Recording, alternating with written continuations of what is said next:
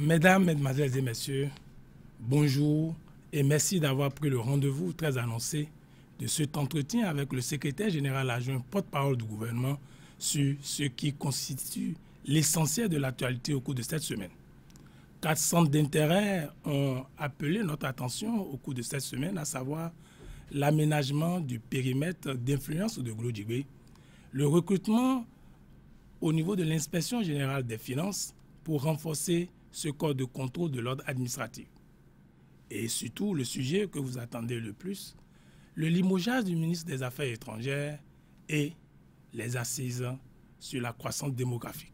Ces quatre sujets constitueront l'essentiel de cet entretien que j'animerai avec mon confrère de la télévision nationale, Osias Sounvou.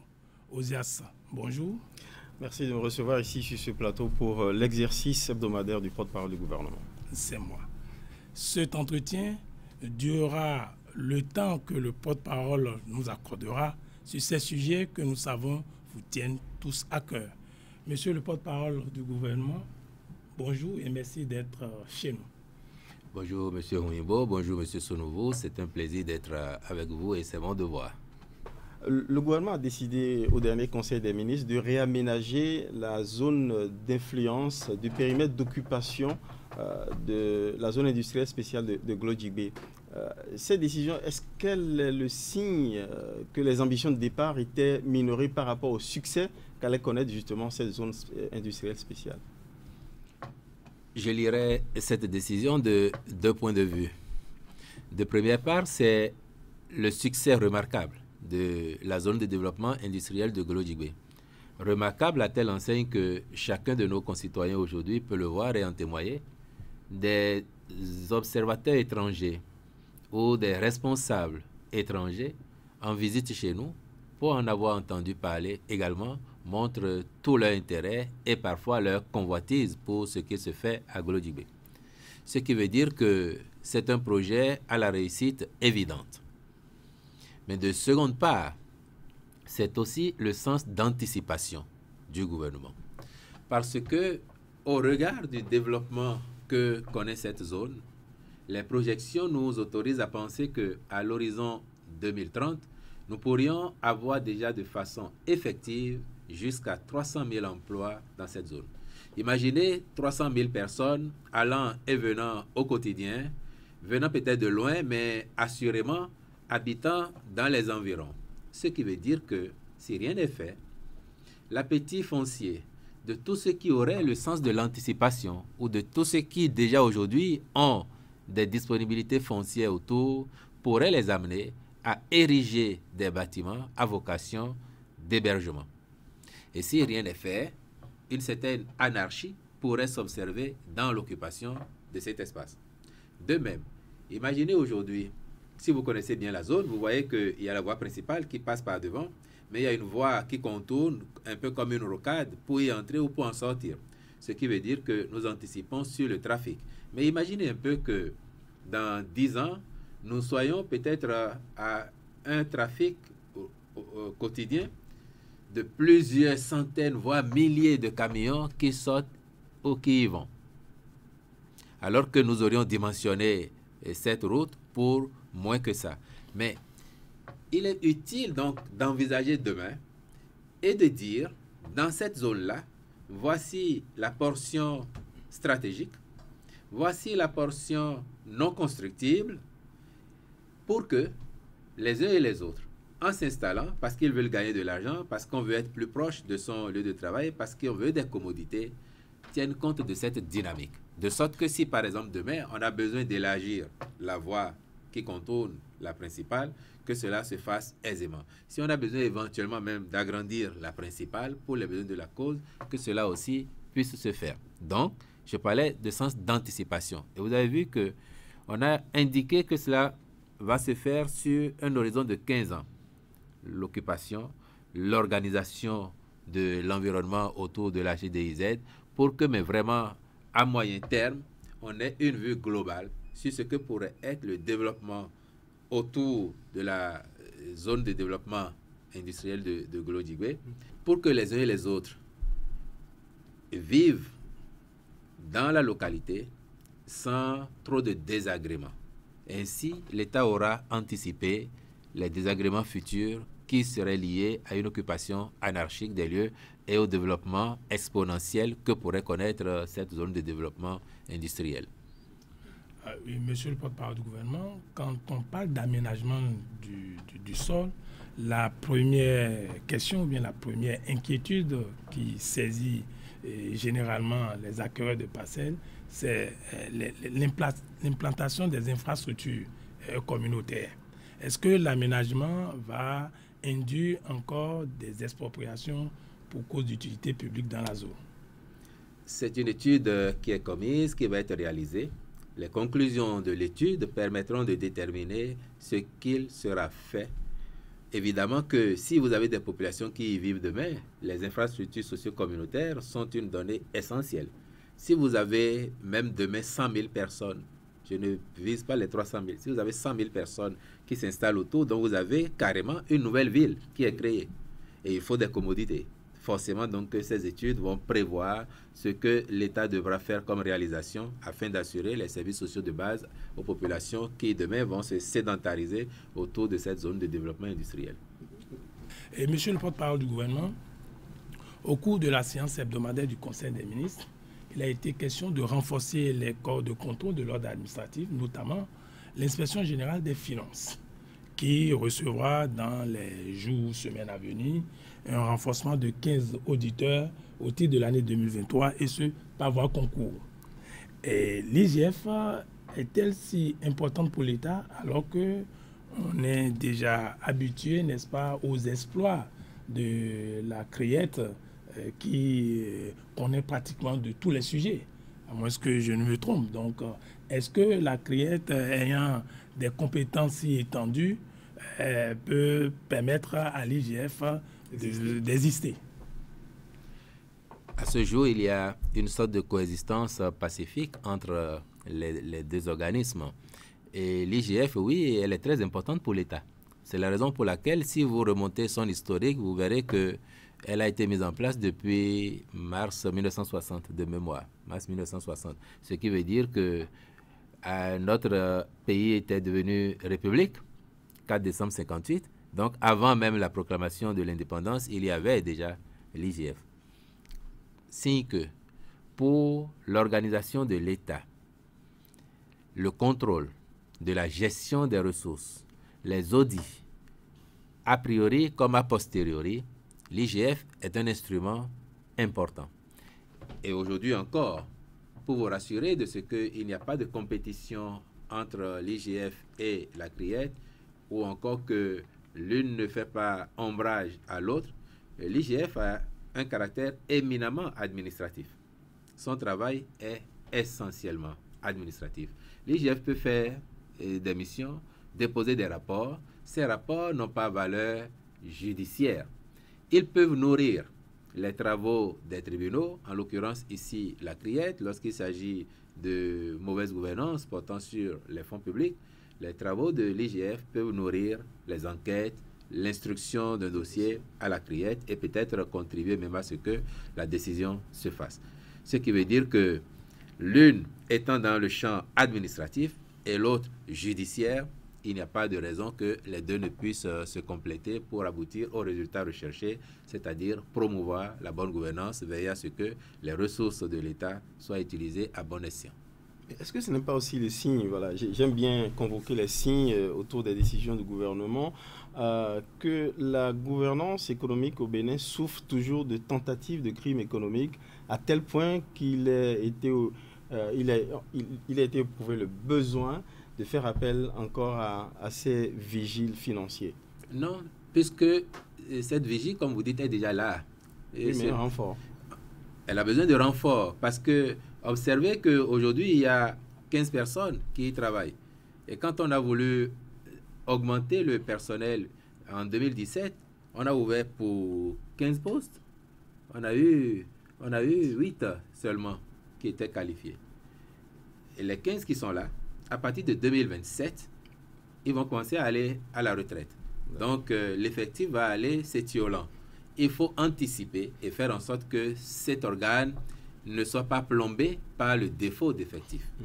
Ce qui fait que donc la décision de mettre à 15 nouveaux auditeurs à sa disposition qui vont passer leur formation et devenir des inspecteurs et ainsi renforcer l'effectif disponible et rendre l'organe lui-même beaucoup plus efficace, beaucoup plus diligent dans le traitement des, dossiers. C'est bon d'avoir un effectif euh, qualifié pour l'IGF. Est-ce que euh, les auditeurs qui y sont et qui seront là ont les moyens pour accomplir euh, la mission qui leur a été dévolue, à savoir contrôler les finances publiques? Je vous dis d'emblée oui, Monsieur Wimbo le, président de la République met un accent particulier sur euh, l'efficacité des corps de contrôle, y compris les corps de contrôle de l'ordre administratif. Il vous souviendra qu'avant 2016, il n'y avait pas de façon fonctionnelle, par exemple, l'inspection des euh, services euh, judiciaires. C'est le président Talon qui l'a réactivé et qui a envoyé du personnel compétent. La même chose vaut donc pour l'IGF faire en sorte que les moyens de leur politique ne leur manquent pas, afin qu'ils ne soient pas prétestés de ce défaut de moyens éventuels pour justifier le défaut de résultats. Or, quand vous voyez aujourd'hui les nombreux rapports qui sont euh, soumis à l'appréciation de l'autorité par l'inspection générale des finances, du fait du renforcement du personnel qu'il y a eu il y a quelques années, même si ça a été à minima, compte tenu de nos ambitions de départ et des résultats auxquels on est parvenu, vous vous rendez compte qu'il n'y a pas matière à chômer là-bas. Au contraire, euh, ce sont des gens qui sont assez dévoués et qui sont à la tâche euh, de façon assidue. Et si on passait à une autre grosse actualité euh, politique, celle-là, le limogeage ou le départ présumé ou, vrai, vous me direz, de du ministre des Affaires étrangères, Aurélien Agbenonsi. Euh, il s'est instauré une tradition depuis la formule du chef de on ne change pas une équipe qui gagne. Bon, finalement, ça n'a laissé personne dû puisqu'il y a eu quand même des départs après. Euh, la tradition, c'est que le mercredi qui suit, on a un acte officiel, un décret qui vient préciser euh, le remplaçant au poste. Des noms circulent, notamment celle d'une ambassadrice, je, je, tais le nom volontiers, euh, fake news ou si c'est confirmé ou pas Ça viendra ou pas cet acte? On dirait que vous prêchez le, faux pour avoir le vrai, Monsieur Sounouvou. Et c'est le sentiment que votre question euh, me donne. Mais vous savez comme moi que en pareille circonstance, il faut un certain formalisme pour consacrer la sortie d'un ministre du gouvernement. Et jusqu'à nouvel ordre, vous et moi, ne pouvons pas certifier de ce que hier cet acte, il a existé, vous l'aurez déjà vu. Donc euh, le chef de l'État qui seul est maître de la composition de son gouvernement, des attributions de ses ministres, et du moment où il peut mettre fin à leur euh, collaboration, nous dira sans aucun doute euh, en temps indiqué. Et si oui ou non, il faut considérer que M. Agbenossi est toujours membre du gouvernement ou pas. Ce que je sais, c'est que à ce niveau de responsabilité, il peut arriver des moments où l'on constate que le chemin parcouru ensemble est suffisant ou que l'on décide de redéployer autrement tel ou tel. Et puis vous avez évoqué le propos du chef de l'État suivant lequel euh, on ne change pas une équipe qui gagne. Oui, on ne change pas une équipe qui gagne, entendu grosso modo. Par contre, au sein de l'équipe, vous pouvez parfois décider à 5 minutes, à 10 minutes ou à 15 minutes de la fin d'un match de sortir quelqu'un. Soit parce que visiblement il est, il est trop fatigué, soit parce qu'il déjoue et que ça dessert l'équipe, alors que si vous gagnez, il faut préserver le score pour qu'à la fin, on n'ait pas de regrets. Donc euh, l'un dans l'autre, nous serons forcément situés dans les temps à venir. Apparemment, le texte a du mal à sortir. Euh, c'est une rédaction plutôt difficultueuse. Il y a un timing. Le test euh, qui doit sortir, il sortira en temps indiqué. Alors, monsieur le porte-parole du gouvernement, dans le cadre de la préparation de cette entrevue, j'ai une question que vos anciens confrères, si je peux ainsi le dire, puisque vous êtes dans une autre fonction actuellement, ils, m'ont demandé de vous demander, de, vous de vous interroger sur le fait que les informations de première main, c'est toujours de l'extérieur que sont obligés de la prendre. Dans le cas euh, que nous évoquons, euh, il y a des journaux, n'est-ce pas, qui paraissent pas au Bénin, qui nous ont annoncé, et que l'intéressé aussi aurait confirmé ça à ses organes. Est-ce que le fait que chaque fois, les journalistes, surtout ceux de l'organe de service public, qui devraient avoir la primauté de cette information, le fait de ne pas les avoir, est-ce que ça ne pose pas de plus en plus le problème de crédibilité de nos médias de service public par rapport à l'information politique de premier mai Merci pour la plaidoirie. Monsieur Wimbo, vous, n'êtes pas dans le vrai. Le, le, simple fait que je sois devant vous et que toutes les semaines je fasse euh, cet exercice avec euh, vos confrères illustre la volonté du gouvernement de faire en sorte que l'information soit accessible aux médias nationaux. Et le président de la République lui-même, quand son agenda le permet et qu'il doit discuter avec euh, les journalistes béninois, il ne s'en prive pas. Du reste, vous particulièrement, je sais que vous avez une bonne culture juridique et que vous savez que pour le cas de l'espèce que vous évoquez, nous sommes à l'étape de rumeur. Donc, si vos confrères étrangers ont écrit ce qu'ils ont écrit, c'est forcément une rumeur. Tant que vous n'avez pas l'acte, vous me le direz et vous me l'enseignerez. En l'espèce, la pièce rapportée qui prouverait que tel n'est plus membre du gouvernement, c'est le décret qui le limoge ou le décret qui nomme quelqu'un d'autre dans ses fonctions et qui abroge par conséquent les dispositions contraires de tout autre acte réglementaire. Donc en l'espèce, convenez avec moi que la presse nationale n'a pas été privée d'une information de première main et que ceux qui ont pu écrire l'ont forcément fait sur la base de supputations, pour ne pas dire de rumeurs.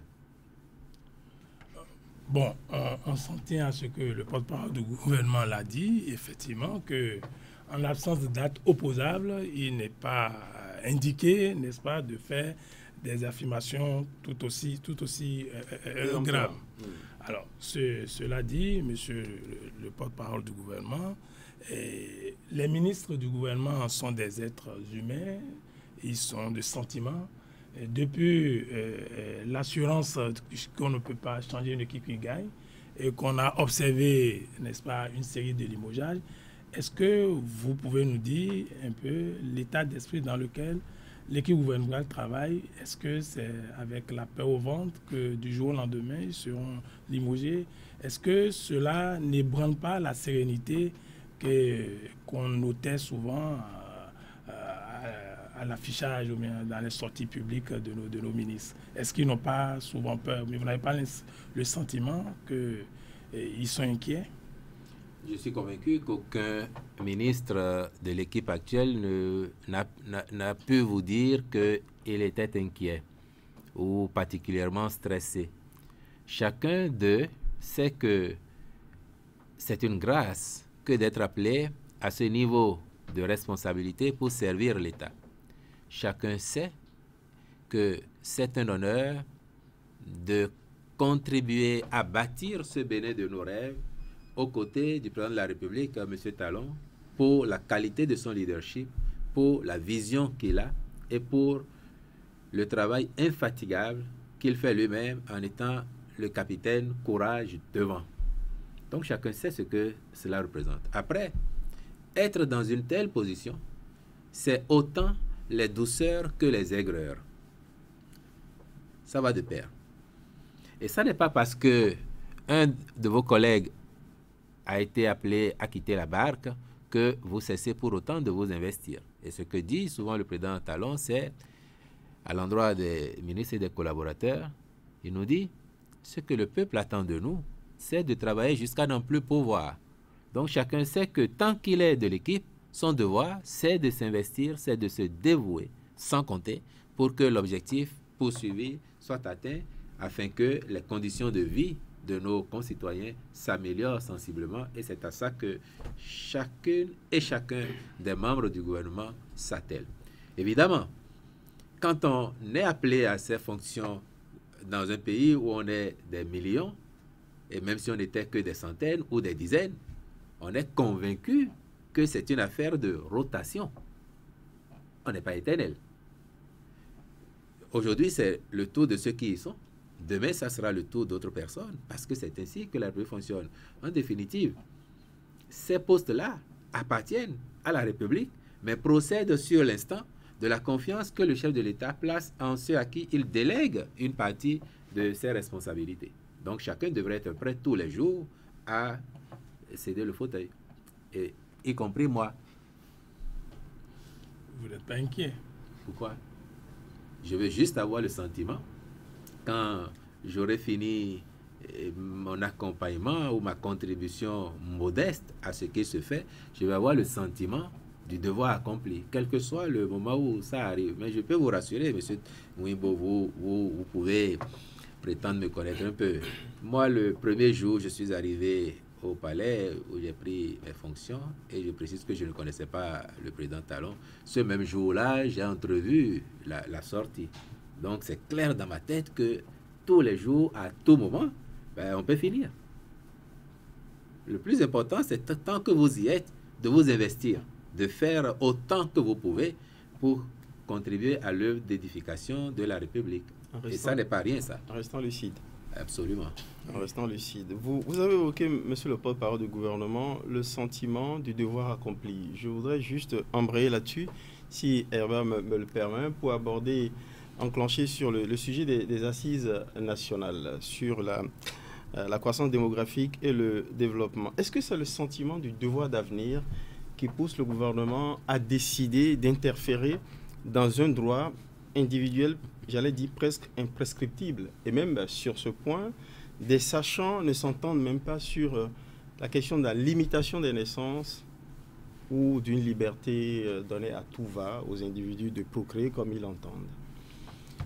J'aime la façon dont vous introduisez ce débat, M. Sounouvou, mais j'aime moins la fin de votre question parce qu'elle a tendance à reprendre le mot d'une partie de l'opinion qui visiblement n'a pas encore compris de quoi il s'agit. J'aime la façon dont vous introduisez le débat parce que j'ai pu le dire, c'est un chantier dont le principal bénéficiaire ne sera pas Patrice Talon. Parce que ses effets induits, ses vertus vont se manifester s'il aboutit, ce chantier, ces effets induits, ces vertus vont se manifester dans quelques années au moment où M. Patrice Talon n'est plus en responsabilité. Et j'aime moins la façon dont vous achevez la question parce que vous évoquez ou vous reprenez le thème de limitation de naissance. Vous observerez, M. Sonovo, que depuis que le gouvernement a annoncé ses assises, à aucun moment, dans ces éléments de langage, on a employé le thème de limitation des naissances. Il se fait que très vite, certains ont embouché la trompette de la limitation pour essayer de dévier le débat, de le polluer. Or, ça n'est pas de, de cela qu'il est question. Et puis, dans l'absolu, je pense qu'on a commencé à réussir ce pourquoi on ouvre ce débat. C'est justement pour qu'il y ait des discussions. Et que ceux qui ont des contributions à apporter les versent au débat comme contribution. Et qu'on les regarde.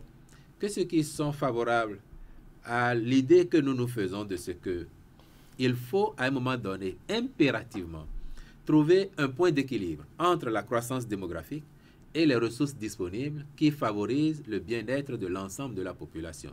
Parce que ceux qui nous faisaient le procès a priori de vouloir limiter les naissances, si vous leur demandez de vous citer trois exemples de pays au monde où on a pris une décision d'État pour limiter les naissances, c'est-à-dire imposer à chaque personne combien d'enfants il doit faire, je suis convaincu que quand ils auront cité la Chine, ils ne pourront pas aller deux, trois pas plus loin pour citer d'autres pays.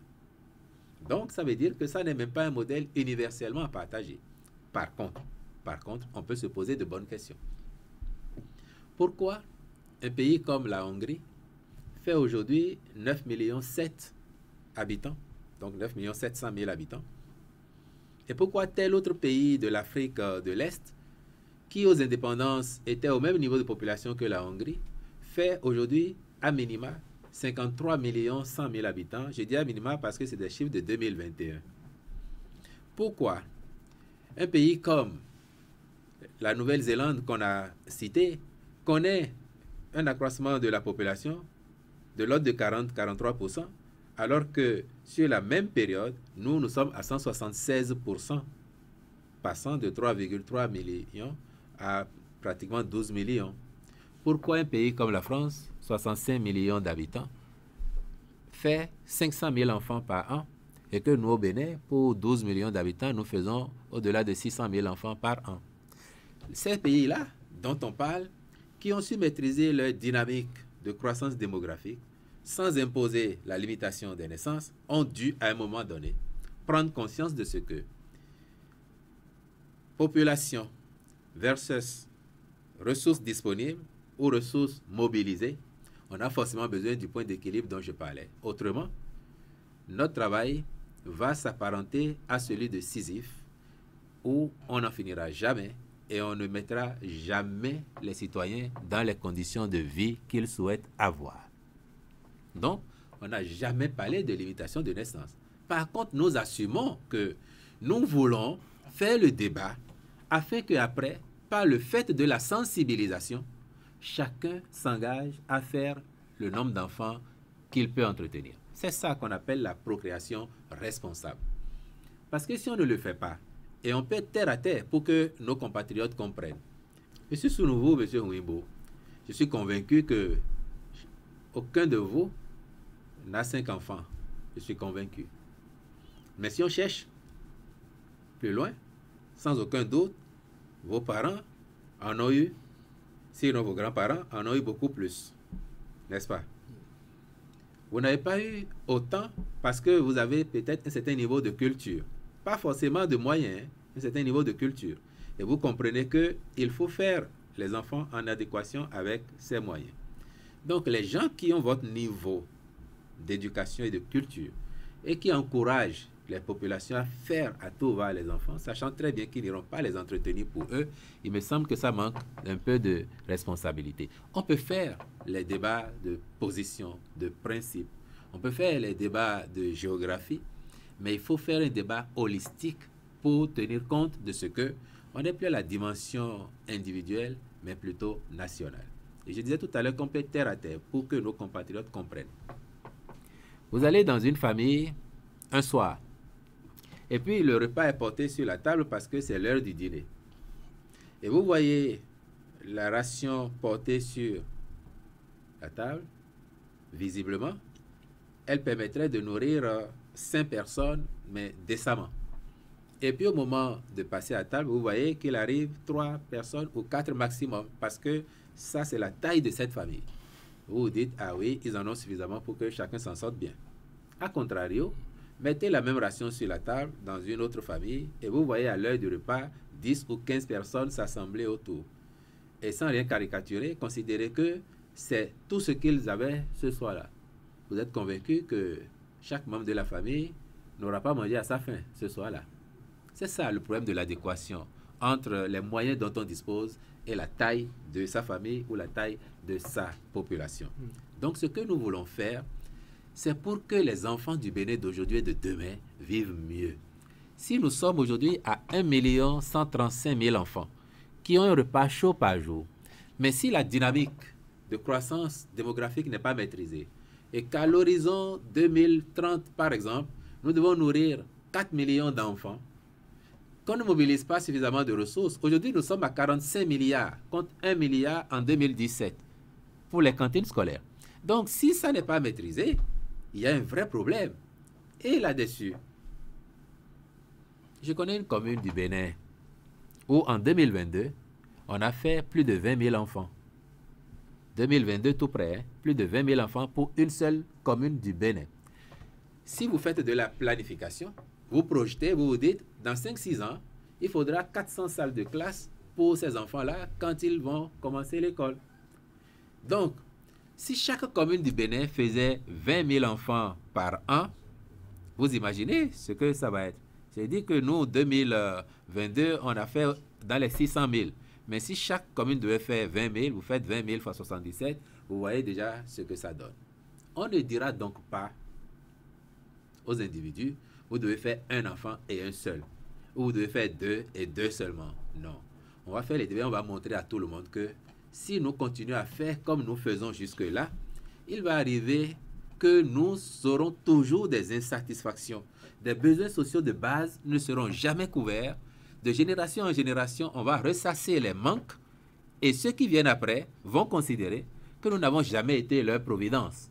Parce que si nous, nous sommes les héritiers de ceux qui sont passés, nous devons être la providence de ceux qui viennent après nous. Et être la providence de ceux qui viennent après, c'est leur créer les conditions optimales de vie, de bien-être, telles qu'ils se disent, oui, nous avons raison d'appartenir à ce pays. Oui, nos ancêtres, nos devanciers ont été de vaillants combattants. Ils ont travaillé, nous ont construit un pays. C'est ça les enjeux. Donc après, il s'agira surtout de sensibilisation. Une fois que les débats auront été faits, avec euh, la participation de toutes les composantes de la société, on a évoqué à minima 1200 participants de toutes les couches. Et on a dit que les débats se feront en français comme en langue nationale tout le monde dans le pays va entendre de quoi nous parlons. Chacun va faire ses réflexions à son niveau et à la fin, c'est dire Ah, mais ce qu'ils disent là, ça n'est pas si insensé que ça. Hein. Et moi qui ai déjà fait sept enfants, alors que quand je regarde mes revenus, j'aurais dû faire deux ou trois. Ah, il faut que je sensibilise euh, mes proches, mes, mes amis, mes parents pour qu'ils ne commettent pas et la même erreur que moi. Voilà. Alors, monsieur le porte-parole du gouvernement, j'ai surpris une conversation vous savez que le sujet alimente toutes les causeries dans notre pays. J'ai surpris une conversation dans un quartier UP de la ville de Cotonou où un monsieur disait si on maîtrise la naissance, qui sera euh, euh, euh, chauffeur pour nos enfants? Ça, c'est une discussion de bourgeois. Qui sera gardien pour nos, pour nos maisons. Donc, c'est un enjeu qui est diversement apprécié. Est-ce que ce pan de cette question-là ne, euh, ne, vous, ne vous intrigue pas un peu? À savoir que euh, ceux qui sont d'une certaine classe ont besoin de main-d'œuvre. Et ils estiment que euh, la position du gouvernement est une position qui menace bien des intérêts. Aucunement. Aucunement. Encore une fois, il faut qu'on soit tous à l'aise.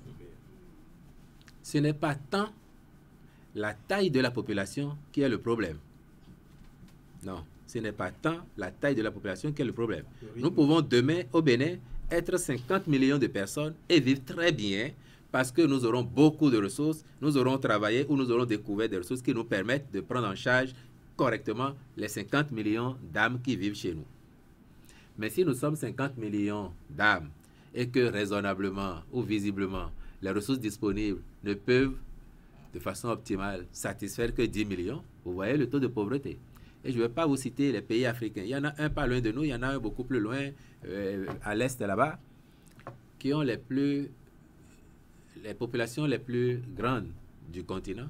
Et vous savez que au moins deux tiers de ces populations vivent sous le seuil de pauvreté. Cela dit, celui que vous avez surpris en train de faire cette réflexion, si je le connaissais, je lui dirais qu'il est un peu égoïste. Et je vais lui demander comment, au Japon, aux États-Unis, en France ou ailleurs, comment les gens font quand ils ont besoin de chauffeurs ou d'agents de maison. Celui-là raisonne de façon égoïste parce que s'il a demain un chauffeur qui est qualifié ou un agent de maison qui est qualifié, il ne peut pas payer le salaire qu'il paye aujourd'hui à cette personne. Est-ce qu'il n'y a pas de chauffeur aux États-Unis en France, au Japon, et s'il n'y a pas d'agents de maison? Mais ils connaissent leurs droits, c'est organisé, et peut-être euh, la rémunération de misère que nous on donnerait ici au nôtre, demain ça ne sera plus possible. Parce que si on a la taille de la population qui convient à nos moyens pour que chacun vive bien, il n'est pas dit que tout le monde va sortir docteur en ceci, professeur de cela, titulaire de maîtrise ou de licence en ci ou ça. Non, des gens peuvent se contenter de leur certificat de qualification professionnelle pour vivre Aujourd'hui, de plus en plus, nous développons l'enseignement technique et la formation professionnelle. On peut avoir son DUT et dire, moi, ça me va pour vivre, mais demain, il faudra payer le salaire que mérite le DUT. Vous voyez Donc, à cet ami, vous direz, ou je lui dirai, que s'il pousse bien loin la réflexion, il se rendra compte que ce dont s'agit dépasse la dimension individuelle et forcément étriquée, et que s'il projetait ses propres enfants ou ses proches dans la perspective que nous envisageons, il se convaincrait de ce que c'est une piste à explorer s'il veut que ses enfants vivent mieux que lui, que ses petits-enfants vivent mieux que ses enfants. C'est ça. Et c'est ça le devoir de l'État. Le, le, Monsieur pour faire écho, encore une fois, à votre question tout à l'heure, le président Talon a eu l'occasion de dire une fois que gérer l'État, diriger, c'est gérer les problèmes d'aujourd'hui et de demain. Donc l'anticipation sur les problèmes de demain. Faire en sorte que ceux qui viennent après lui, ceux qui viennent après nous, trouvent une situation plus reluisante afin que leurs efforts soient davantage efficaces et appréciés parce que productifs. Parce qu'on a pris nos responsabilités aujourd'hui. En termes de responsabilité, est-ce qu'il ne faudrait pas faire précéder ces assises nationales d'études sur la situation et la dynamique démographique actuelle du Bénin? Pour qu'on ait une idée claire, pour savoir si on court des risques en, en, continuant avec cette frénésie ou le rythme auquel la population se développe au Bénin, quels seraient les points d'équilibre qui permettraient à une population active de pouvoir créer suffisamment de richesses justement pour permettre à tout l'ensemble de pouvoir vivre décemment et qu'il n'y ait pas euh, deux parties de la population, les plus vieux et les plus jeunes, à charge justement pour constituer des poids. À, défaut de ça, j'ai l'impression que euh, au niveau du gouvernement, on se fait peur un peu trop exagérément. Non, rassurez-vous, des études existent. Et les débats ne vont pas avoir lieu sur du néant. Non, la réalité va être présentée à tous les participants pour dire, si nous continuons ainsi, voilà les risques auxquels nous nous exposons. Par contre, si nous décidons tous ensemble d'être plus responsables, donc de promouvoir la procréation responsable, à telle échéance, nous pourrions être à tel seuil de population pendant que la richesse nationale serait parvenue à tel autre niveau, de sorte que population rapportée aux richesses nationales, nous serions au point d'équilibre, mais vraiment de façon satisfaisante pour que chacun trouve son compte. C'est ne pas le faire qui nous expose et nous expose dangereusement, y compris ceux qui viennent après nous. Alors, monsieur le porte-parole du gouvernement, j'ai l'impression que vous voulez, euh, le gouvernement du président Patrice Danon, veut enclencher une révolution culturelle. Vous savez que nous avons des adages, des proverbes qui disent par exemple, qui disent par exemple, nous on voulons à Mawede. Ça dit que au lieu de s'inquiéter, au lieu de faire chose, nos populations, dans notre terroir, dans notre culture, on se dit que euh, si l'enfant est viable, il, va s'en sortir. Vous avez invité les leaders culturels et religieux. C'est la répétition de cet adage qu'il faut forcément remettre euh, dans son contexte, parce que tout est question de contexte. C'est la répétition de cet adage de génération en génération qui fait qu'aujourd'hui encore, vous avez des gens parmi nous qui peuvent raisonnablement s'en tenir à un ou deux enfants, mais qui en font 7, 10. Et c'est ça qui a pour conséquence les enfants que vous voyez dans les ateliers alors qu'ils doivent être à l'école, les enfants que vous voyez dans la rue alors que leur place est à l'école. C'est ça qui fait que vous avez aujourd'hui au Bénin, dans certaines localités, des familles si nombreuses que le soir, parce qu'on est conscient que tout le monde ne peut pas occuper la chambre, on préfère mettre les motos à l'intérieur et on dort à la belle étoile avec les enfants. Je ne dis pas ça pour caricaturer. Notre, devoir, le sens de responsabilité, c'est de dire aussi la réalité à nos concitoyens afin que chacun puisse être sensible au débat que nous faisons. Et vous aurez compris, Monsieur Ouimbo, que quand on a ces réalités-là, il faut être profondément aimant de ses concitoyens, de ses contemporains et de ceux qui viennent après soi pour oser ouvrir un chantier aussi important que celui-là, mais aussi polémique. Personne n'est dupe.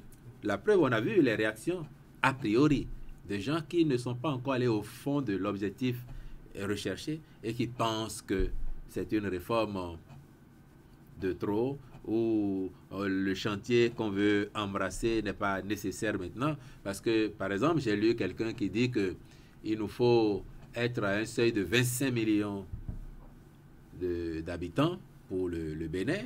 D'autres pensent qu'il faut avoir beaucoup plus parce que eh, la géographie est là, l'espace est là, il faut l'occuper. Et j'ai dit et expliqué tout à l'heure qu'il ne s'agit pas que de ça. C'est rapporter la taille de la population aux ressources ou aux richesses dont nous disposons pour prendre en charge nos problèmes. Hmm. Pourquoi depuis 1960, nous avons de façon globale ce sentiment de manque à mains égards. Et pourquoi depuis 2016, nous avons le sentiment que ce gouvernement, ce président de la République, nous demande beaucoup plus d'efforts que les autres n'ont fait? Et nous disons parfois que nous sommes une génération sacrifiée parce que c'est nous qui devons prendre sur nous de faire beaucoup d'efforts alors que avant ce n'était pas le cas. Pourquoi? C'est justement, entre autres raisons, que nous n'avons pas su maîtriser cette dynamique parce que pour 12 millions que nous sommes aujourd'hui, si on avait peut-être été dans la même dynamique de croissance démographique que les autres, j'ai donné tout à l'heure l'exemple de la Hongrie, si on avait été dans la même dynamique, rapporté aux mêmes ressources dont nous disposons, chacun se sentirait sans doute beaucoup mieux. Nous aurions déjà fait 100% de couverture pour la cantine scolaire. Nous sommes à 75%. Nous aurions fait 100%. Nous aurons peut-être des classes dans lesquelles nous aurons 20 écoliers, et pas 40, et pas 50, voire 70 ou 80 ici et là. Nous aurions déjà donné de l'eau potable à tout le monde. Personne ne se plaindrait aujourd'hui de ce que la SB2E n'a pas encore fait l'extension du réseau chez lui, quand bien même le président de la République a ordonné, et son gouvernement, que l'on fasse des raccordements sociaux pour 20 000 francs. Et ils sont débordés aujourd'hui à la SB2E parce que la mesure est victime de son succès. Personne n'aurait eu à se plaindre de tout ça parce qu'on aurait fait avant. Et ce n'est que maintenant qu'on commence réellement. Mais quand vous commencez réellement, comment faire pour que les acquis ne s'arrêtent pas à votre temps, mais plutôt qu'ils vous survivent et que ceux qui viennent après en bénéficient, exactement comme un père veut que ses enfants soient le prolongement de son histoire. Et il s'emploie souvent à faire en sorte que ses enfants vivent mieux que lui-même. C'est pas ce que nous faisons tous. Quelle est la part de votre salaire, de vos revenus que vous dépensez pour vous-même? À la vérité. Est-ce que ça n'est pas pour les autres que nous faisons ça?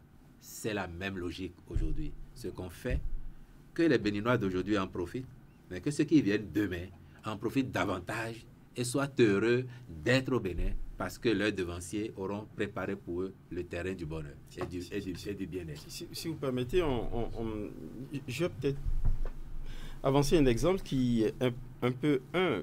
Il en existe sans doute d'autres, des contre-exemples euh, qui montrent que, euh, en fait, le souci de la, la démographie euh, comme défi au, développement doit être regardé avec beaucoup de nuances. Il y a des pays en Afrique qui ont très peu de population hein, en termes de, de nombre, beaucoup de richesses, mais qui pourtant voient une majeure partie de cette faible population croupie dans la misère. Je ne veux pas citer de, pays. Tournez mon regard vers l'Afrique centrale. Je sais vous dire pourquoi. Je sais vous dire pourquoi, Est-ce que le, véritable défi, ce n'est pas la gouvernance J'allais vous dire, j'allais vous dire que dans ce cas précis, on peut convoquer justement la qualité de la gouvernance. Mais est-ce que ce n'est pas précisément parce qu'au Bénin, nous avons commencé à faire autrement les choses que nous voyons grand et beaucoup plus grand? Nous améliorons la gouvernance. Nous l'améliorons. Et nous, et nous voulons que cela se prolonge. Mais en même temps, tous les défis qui se présentent à nous doivent être regardés avec responsabilité. Hmm. Et c'est pour ça que tout à l'heure, vous voyez que, à titre personnel, je n'ai pas de position dogmatique sur la question. Je vous ai dit, si nous sommes 50 millions demain, et que grâce à la gouvernance, il y a suffisamment de ressources, suffisamment de richesses pour que tout le monde soit satisfait dans ses attentes, chiche. Hmm. Mais si la gouvernance, la bonne gouvernance, ne devrait pas être pérennisée, OK? Parce qu'il peut y avoir, à un moment donné, des biais. Eh si ça n'était pas le cas, et regardez donc aussi les autres pays où ils sont tellement nombreux, mais où la qualité de la gouvernance fait que eh, plus de deux tiers de la population végète sous le seuil de pauvreté. Oui. Quand on prend un pays comme la Suisse, c'est un pays qui a priorisé euh, le capital humain, le développement du capital humain. Je sais que c'est pas seulement qu'une thématique, un thème, mais c'est une priorité également pour ce gouvernement. Euh, est-ce que le, vrai sujet aussi, l'un des leviers les plus puissants sur lesquels il faut agir, ce n'est pas de donner, pardon pour le mot, le, terme, c'est rien de péjoratif, d'éduquer suffisamment bien les populations, puisque l'expérience a prouvé que, et vous l'avez dit, des ménages bien éduqués, bien élevés, qui ont une, une grande culture, ils se laissent aller rarement à beaucoup d'enfants. Oui, vous voyez, ça fait... suffisamment de moyens. Ça fait beaucoup de défis à la fois. Est-ce que depuis 2016, nous ne travaillons pas à améliorer l'éducation, l'instruction des Béninois? Est-ce que nous ne faisons pas ça? Nous le faisons. Et vous pouvez en témoigner. J'espère que par moment, votre discours n'est pas défaitiste face, à ce qui est entrevu comme défi et déluge de moyens déversés C'est le sens de responsabilité hmm. et c'est l'approche holistique qui demande de voir tous les contours d'un problème autant que cela est possible. Parce que si on se contente des acquis que nous avons et qu'on ne regarde pas d'autres aspects, cela pourrait remettre en cause la belle dynamique qui est en cours. Donc, nous faisons des efforts sur l'éducation, l'instruction, même sur la promotion et la protection des femmes, parce que j'entends bien votre discours. J'ai lu beaucoup de littérature sur le sujet depuis qu'on l'a annoncé. Et je sais, il y en a qui disent qu'il faut juste améliorer le niveau des gens en général. Et on a vu ailleurs, lorsque les femmes, par exemple, ont un bon niveau d'instruction, d'office, elles savent qu'il faut qu'elles fassent moins d'enfants. On a entendu ça. Mais on sait très bien que ça n'est qu'un aspect du problème. Et les autres qui y sont arrivés ont mis des décennies parfois. Donc nous postulons que pendant que nous améliorons l'instruction ou l'éducation, nous traitons en même temps les autres pans du problème qui sont accessibles à notre esprit. Il y en aura peut-être qu'on ne verra pas et que les gouvernants de demain verront. Donc nous les traitons pour que, à l'arrivée, on ne nous fasse pas le grief de n'avoir considéré qu'un aspect et pas d'autre, alors qu'ils sont tout aussi importants. Alors, Monsieur le porte-parole du gouvernement, est-ce que les assises sur la croissance démographique, ces assises seront souveraines? Ah oui, en termes de décision. En termes de décision. On imposerait, par exemple, à la population. Euh, Parce qu'on sait que le votre gouvernement ou bien le gouvernement de la République ne fait rien au hasard et que vous êtes souvent en anticipation. Est-ce qu'en rassemblant nos, nos, parents, les populations, les différentes catégories socio-professionnelles de notre pays pour discuter la question de la démographie, est-ce que euh, ce n'est pas pour aller quelque part? Merci pour le compliment. Le, quelque part où on veut aller, c'est le mieux-être intégral pour les Béninois. Les assises détermineront les moyens ou les outils qui pourraient être implémentés après leur tenue pour inciter à cela, pour sensibiliser afin que nous réalisions l'objectif qui aura été retenu par les assises, dont je ne peux pas anticiper ici les conclusions. Le gouvernement, observé, invite tout le monde, la classe politique, opposition comme mouvance présidentielle. Les intellectuels, la diaspora, les têtes couronnées, qui encore Les femmes, les groupes organisés, ainsi de suite. C'est pour que chacun vienne dire. Vous pouvez avoir des représentants même, parce que moi je reviens d'un tour du pays. Et quelque part, il y a quelqu'un qui faisait injure à nos populations en disant que ce sont les populations eh, rurales qui font beaucoup d'enfants. Mais elles seront représentées, ces populations. Les gens qui ont été éduqués à l'école, comme ceux qui n'ont pas mis pied à l'école. Et c'est pour ça que les débats auront lieu aussi bien en français qu'en langue nationale. Pour que chacun apporte sa contribution et ait le sentiment que, ah oui, sur un sujet aussi majeur pour le devenir de notre pays, il compte. Donc, on tiendra compte de tous ces aspects et à l'arrivée, il y aura forcément une synthèse des débats et peut-être une orientation nationale va se dégager de ces débats. Le gouvernement tirera les conclusions et ne manquera pas de les verser à l'appréciation du peuple dans son ensemble. Et après, les outils qui pourraient favoriser la mise en œuvre de cette orientation seront définis dans les, endroits ou les instances qui conviennent et présentés encore une fois à l'opinion. En tout cas, c'est des explications assez mesurées. On prend acte des éléments de langage du porte-parole du gouvernement. J'ai entendu le mot sensibiliser, j'ai entendu le mot inciter. On espère que c'est des mots qui ne cachent pas un agenda de mesures impératives. on peut résumer les, explications du porte-parole du gouvernement comme quoi faire un enfant au Bénin désormais est une décision personnelle. C'est-à-dire que responsable. Mm. C'est-à-dire que on ne peut plus faire un enfant au hasard. Si ni par accident. Ni par accident désormais que faire un enfant soit une décision responsable, euh, que le couple décide en toute euh, connaissance de cause. Mhm. Et je comprends de l'explication du porte-parole du gouvernement que euh, le gouvernement ne veut pas limiter. J'ai bien compris, il n'a pas utilisé le mot limiter, mais j'ai entendu maîtriser. Maîtriser, à mon avis, c'est décider en toute connaissance de cause. Si ce n'est pas son point de vue, il a toujours la latitude de me rectifier, je,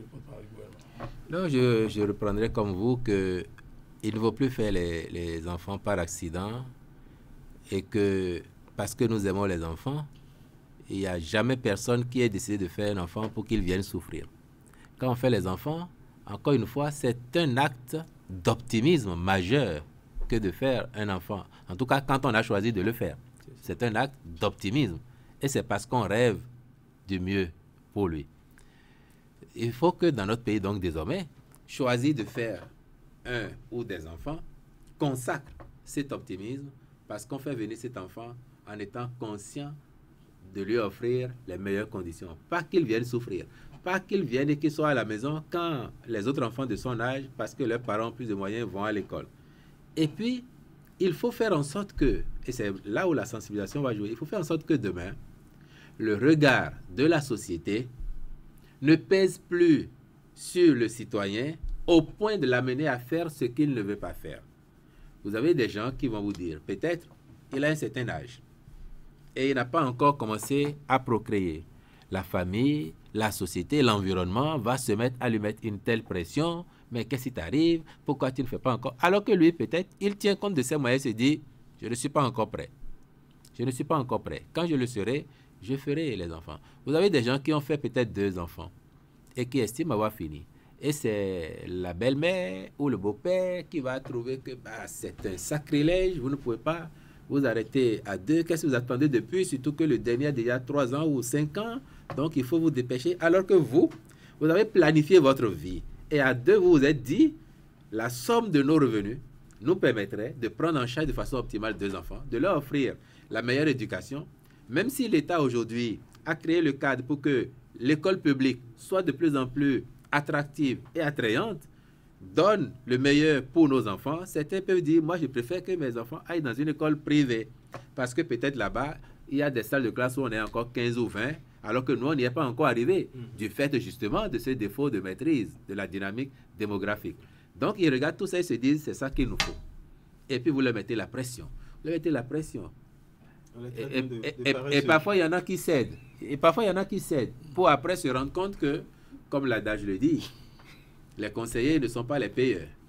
Et puis, et puis parcourez, parcourez le pays pour, pour interroger une autre dimension du débat. Parcourez le pays et vous verrez que la boule d'Akassa d'il y a 10 ans n'est pas la même aujourd'hui. Le morceau de la Tevico n'est plus le même aujourd'hui. Le morceau de Ablo, le plat de Abobo n'est plus le même aujourd'hui pour le même montant que vous donneriez et vous comprendrez qu'il y a une dynamique universelle qui est à l'œuvre, qui commande beaucoup de sens de responsabilité, beaucoup, beaucoup d'à-propos, et c'est pour ça que nous parlons de procréation responsable. Est-ce que vous avez associé les maires de nos communes à cette thématique, à cette discussion? Bah, Parce qu'il faut donner le bon exemple. Hein. Ils, seront sans aucun doute, ils seront sans aucun doute de la partie, parce que ça les engage. Tout à l'heure, est-ce que je vous ai pas donné l'exemple d'une commune où et je ne caricature pas, hein. mm. c'est sérieux. Où on a fait 20 euh, 000, nous avons fait, parce que c'est des Béninois, 20 000 et plus sur une année. Et je vous ai dit ce que ça représente. Vous pensez que cette commune, par exemple, a les moyens dans 5 ans de construire par elle-même 400 salles de classe? Si elle fait 400 salles de classe, elle va sacrifier plein d'autres axes de développement pour lesquels pourtant tous les fils de la commune ont besoin de son intervention. C'est ça et c'est ça qui nourrit le débat, ces questions-là. C'est un plaisir de co-animer avec vous ce plateau, Herbert Ringo. Le plaisir est partagé. Nous sommes donc euh, à la fin de cette euh, entrevue avec euh, le porte-parole du gouvernement. Nous avions abordé la question de l'occupation du sol au périmètre d'influence de Grodjigwe. Nous avions parlé aussi du renforcement des codes de contrôle de l'ordre administratif, notamment l'inspection générale des finances, vous avez entendu le porte-parole du gouvernement.